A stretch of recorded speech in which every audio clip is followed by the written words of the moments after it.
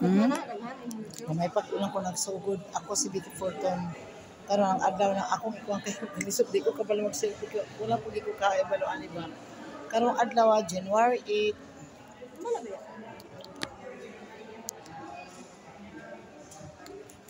di, ibang ko na ako, January 8, 2022. Happy New Year. Na, belated Happy Games. Namin karon sa among parokya sa San Ezekiel Moreno Parish. Among first Saturday meeting, o second Saturday kaya itong last Saturday, holiday man. So karon niya kami na meeting-meeting yung mga grupo. Na kami karon sa nakalaylay nga suna. Sorry karon nagi ko naka-upload sa kabisi kay atong last December. Nagbagyo man, nagbaha sa bagyong udit. Nabaan ang among lugar sa silong sa balay halos abot tuhod na sa akong tinda. Hinahinay bakit pansaka sa taas kay basig maapilo ka ba? Kasi mapare atong una na sa bagyong agaton nga tagali sobra pa sa ulo ang kataas. So nakalimutan ko ng Bisaya pala ko tatagalogin ko na.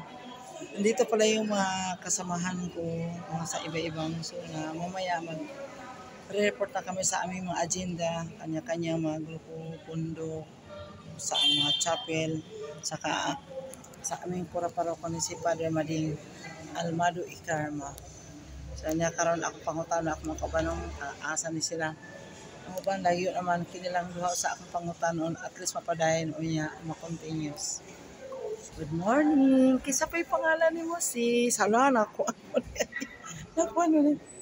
Kisa pa pangalan ni mo sis? Amora. Ha? Amora, Kagalilo. Amo- Amora Tagalilo. O, siya ang pun, puro pundok. Ah, ah, Chapel President. ang chapel president siya o sa Lilo Bansa siya. Kini pong isa sa silad. Doon na siya. Sara mo kasuna? Oh, magani. Mahugan eh. O, pero lain siya nga chapel sa, sa, sa, sa- San Labrador nga chapel. Ang kanang ilang eh, kasi pangalan mo sister si Tita Ruby. ha? Tita Ruby. Tita Ruby siya ang isa sa mga Isa si FC ko. sa PFC. Si. Ah, CFC siya o siya ang presidente sa CFC.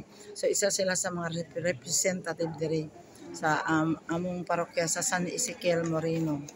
O ya kanang atong panahon sa inyong baha asa tama na inyong tubig itong panahon atong bagyo, bagyong sa ubos. niabot sa tuhod di ba habog man ang mahug ang mahug ganin. Mm.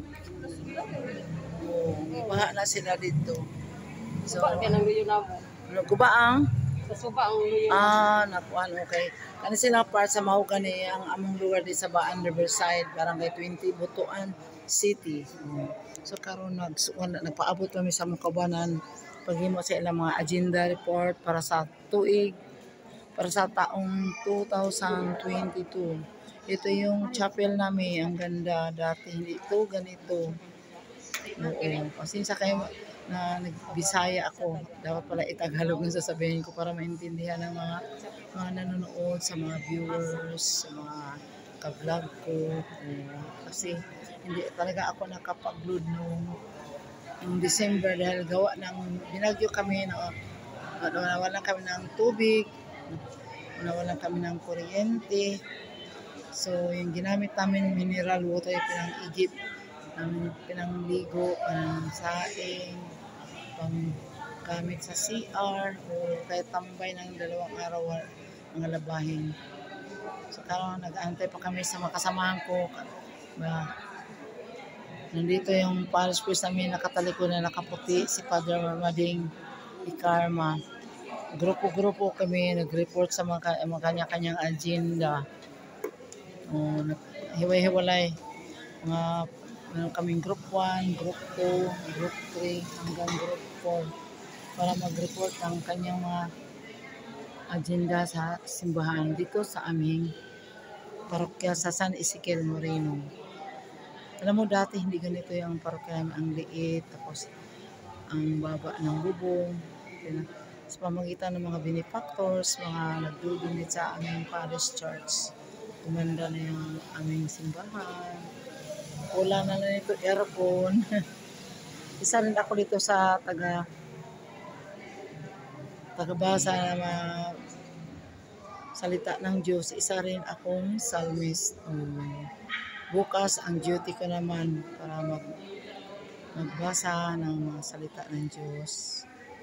At isa rin akong psalmist. Ang schedule ko rin dito tuwing Martes alas 6 ng buntag. So, medyo mahaba pa, matagal pa. Itutuloy ko na to sa sunod na aking upload at titignan nyo na, aabangin nyo na lang. Kasi marami pa akong ibang i-upload dito. Hindi pa lang yun. Iba-iba, may pag nagluluto ako, nag-mission, secret muna dahil para may, mayroong trailing. O sige, ba, bago ako mag-end, huwag niyong kalimutang i-subscribe ako, i-like at i-share. Um, i-share niyo ako sa aking vlog, Vicky Por.